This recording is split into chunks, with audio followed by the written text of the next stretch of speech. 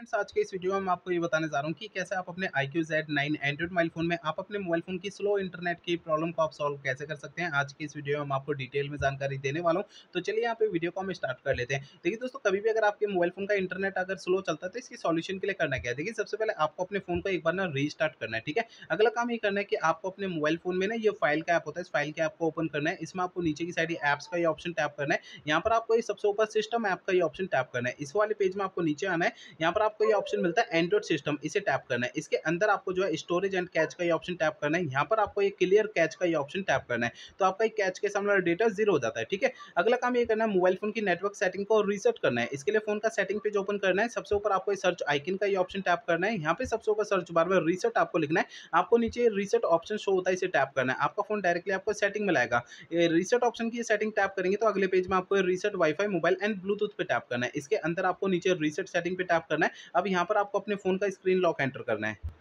अब आपको right click करना है, आपको नेक्स्ट पेज में नीचे रीसेट सेटिंग पे दोबारा टैप करना है। आपको नीचे लिखा हुआ आ जाता है थोड़ी देर में network setting have been reset इस तरीके से फ़ोन की नेटवर्क सेटिंग को एक बार रीसेट कर देना है। अगला काम ये करना है मोबाइल फ़ोन का सॉफ्टवेयर आपको चेक करना है कि अपडेट है या नहीं है। पहले फ़ोन का इंटरनेट आपको चालू रखना है, इसके बाद फ़ोन का सेटिंग पेज ओपन करना है, सबसे ऊपर आपको सर्च आइकिन पर टैप करना है। यहाँ पे सबसे ऊपर सर्च बार में सिस्टम अपडेट आपको लिखना है। आपको नीचे सिस्टम अपडेट का ऑप्शन शो होता है, इसे टैप करना है। अब आपको इस वाले पेज पर कोई भी अपडेट का बटन या डाउनलोड इंस्टॉल अगर यहाँ पे लिखा हुआ दिखाई देता है तो उसे आपको टैप करके फ़ोन का सॉफ्टवेयर अपडेट कर लेना है, ठीक है ना? अब देखिए, अगला काम करना है क्या मोबाइल फ़ोन का ना रिसेट करना है। देखिए, दोस्तों, मोबाइल फ़ोन को रिसेट आपको तब करना है जब मेरे बताए हुए पिछले प्रोसेस काम नहीं करते हैं, तब आपको फ़ोन को रिसेट करना है अदरवाइज़ नहीं करना है। फ़ोन को रिसेट करने के लिए फ़ोन का सेटिंग पेज ओपन करिए, सबसे ऊपर आपको सर्च आइकन पे टैप करना है। यहाँ पे सबसे ऊपर सर्च बार में रिसेट आपको लिखना है। आपको नीचे ना ये ऑप्शन मिलता है erase all data factory reset इसे टैप करना है। आपका फ़ोन डायरेक्टली आपको सेटिंग में लाएगा। Erase all data factory reset पे टैप करेंगे तो अगले पेज में सबसे नीचे इरेज ऑल डेटा पे टैप करना है। इससे आपका फ़ोन जो है रिसेट हो जाएगा और आपकी स्लो इंटरनेट की प्रॉब्लम सॉल्व हो जाएगी।